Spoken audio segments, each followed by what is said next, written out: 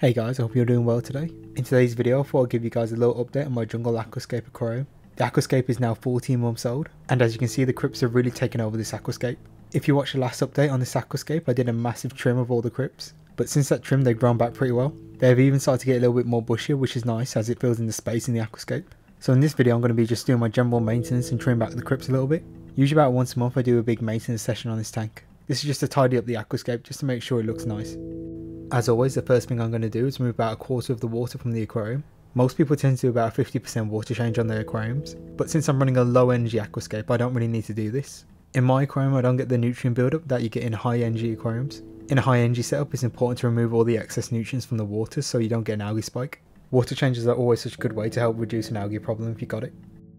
The next thing I'm going to do is clean the glass. I found the easiest way to clean the glass in my aquarium was to use this razor blade scraper. It cuts straight through the algae really easily I don't really need to put much effort into it. I have noticed that I'm starting to get a little bit of green spot algae growing on the glass now. I think this is due to a lack of phosphate in the aquarium. So what I think I might do is increase the fertiliser dose a little bit.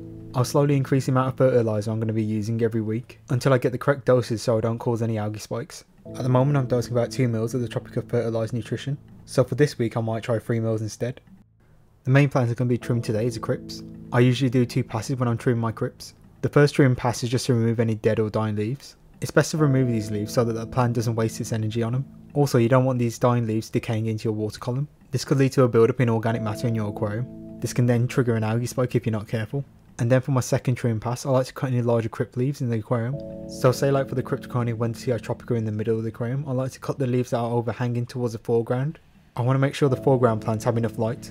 For the Cryptocoryne Wendeltii green that's in the back left hand corner of the tank, I like to cut any leaves that reach the surface of the water. I think when they reach this height they kind of look a little bit too scraggly. I'm also going to be trimming some of the Cryptocoryne balansae in the back of the aquarium. I actually prefer to trim this plant when the water's filled back up. It gives me more of a sense of scale how the leaves are in the aquascape. And the last crypt I'm going to trim is the Cryptocoryne Wendeltii green gecko. It's kind of getting swallowed up by the Java Fern Trident in the back, and I think this is what's causing some of the leaves to melt off. I'll trim away any dead or dying leaves from this plant. Hopefully in a few weeks time new leaves will start to grow again. Next I'm going to be filling the tank up with fresh clean water. Always make sure your water is dechlorinated otherwise you might kill your fish. And you'll also end up killing all the beneficial bacteria in your filter. I like to make sure my water is at least room temperature before I add it to my aquarium. This is to minimise the risk of a temperature shock when I'm adding the new water in. And this will stop any unnecessary stress on the fish. Now that I filled the tank back up with water I noticed there were some crypts that were a bit too tall for the scape. So I decided to do a third pass of trimming just to neaten things up a little bit. Also with the tank full of water, I could see that the Cryptocoryne balansae was a bit too tall.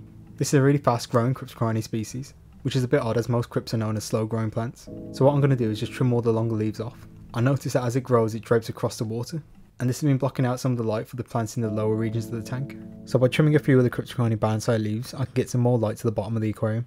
This will just help overall plant growth. So that's it now, all the maintenance is done for this aquascape.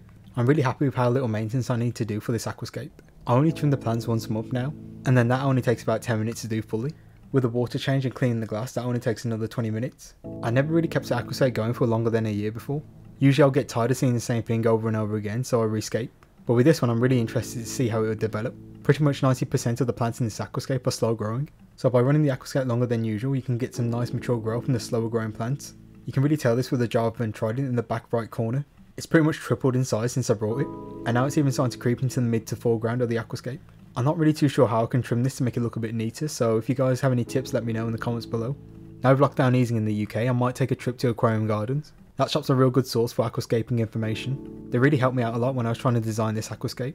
They gave me some great tips on hardscape placement, and they also gave some great suggestions on what plants to use in the aquascape. So hopefully when I visit there I can get some inspiration for a new scape in the future. I might even make a quick video about it too, let me know if you want to see it. Just before I end this video, I want to say a big thank you for all you guys who have been watching. I just want to let you know that 95% of the people who watch these videos aren't subscribed to my channel. So if you want to help the channel grow, give this video a like and subscribe to the channel to see more aquascaping content.